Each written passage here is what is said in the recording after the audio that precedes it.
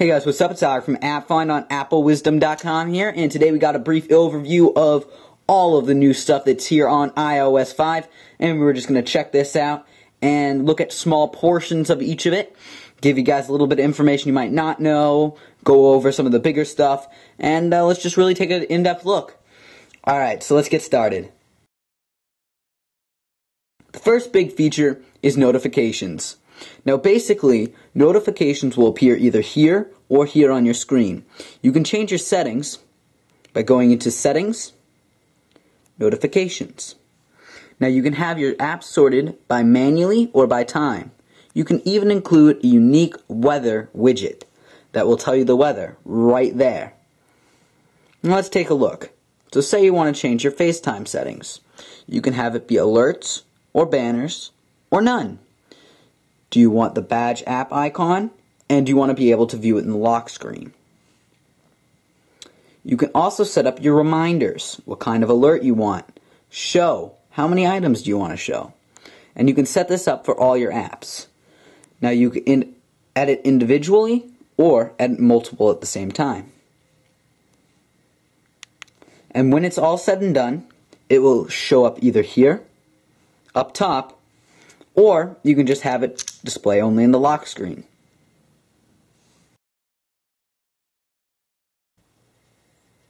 Now let's take a look at how to install iMessage. Go into your settings.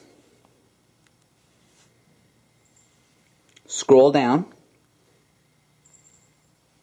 Go to Messages. Enable iMessage. Now, you can add the uh, receipts and you can specify what email you want to receive it at and whether or not you want subject fields. Now what you're going to do is you're going to launch the Messages app and now you can contact people right through their email. Right here we've got Newsstand. You just click this button right here and since I don't have anything right now you can hit Store and the way you're able to do this is it'll bring you right to the newsstand store. Now there's not a large variety yet, but there's going to be a lot more newsstand items coming soon. What we've got right now is the reminders feature. Let's take a look. Open up reminders. Now you can either see a list or by date. Go over here and you can search all your reminders. Now what you can do is you can add reminders and basically, you just say what you wanted to add. And then you can edit this reminder. You can have it remind you and set the date and time. You can even see a complete list or just see what there is for that day. You can see the completed tasks and the tasks you still need to do. Next, we have the full Twitter integration. Let's go right into your settings. And what you're going to do is right in the settings area, you're going to scroll down a little second and go right to Twitter. Now you're going to connect it to your Twitter account. And now, whenever you're doing anything that you could post on Twitter, such as looking at your photos, hit the little arrow over here and you can tweet.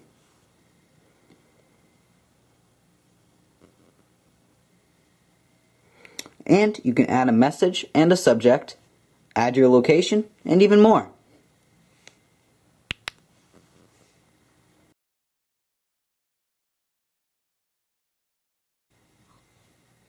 Now let's take a look at some of the new camera features. Let's launch right up the camera. Alright, so now what you can do with the camera is when you're holding it on its side, you can take pictures with the volume button. What you can also do is you can format a grid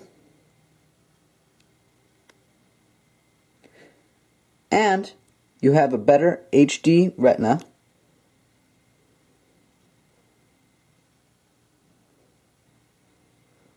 and overall better performance.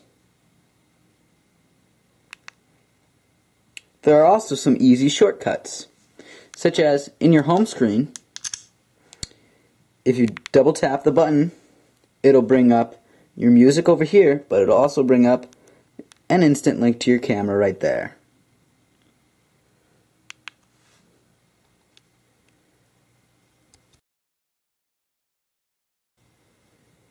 With the new iOS 5 update, you can now check out your photos instantly streamed on PhotoStream. And I don't have this set up right now, but you can set up PhotoStream and share all your photos with other iPods on your network or in different areas. The new Safari is good too, so when you're on Safari,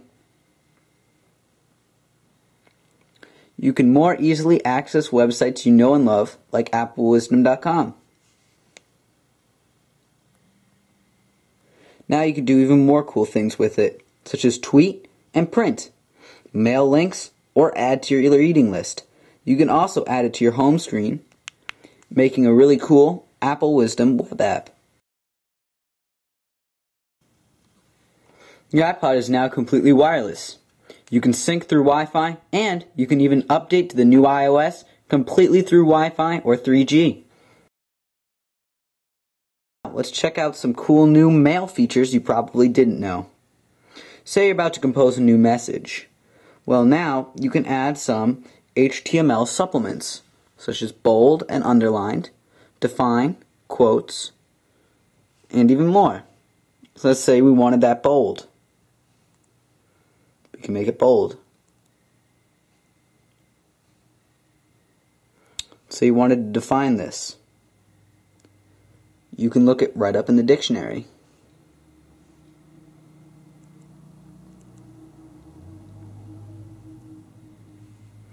Or you can even quote.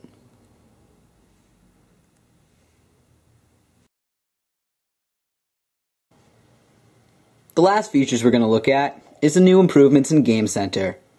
First of all, you can add new photos. You can take a photo or choose an existing photo to represent yourself. You can show how many points you have, how many friends you have, how many games, and you can even send announcements out to all your friends. Now you can take a look where you rank with all your friends and where you rank with all the top players.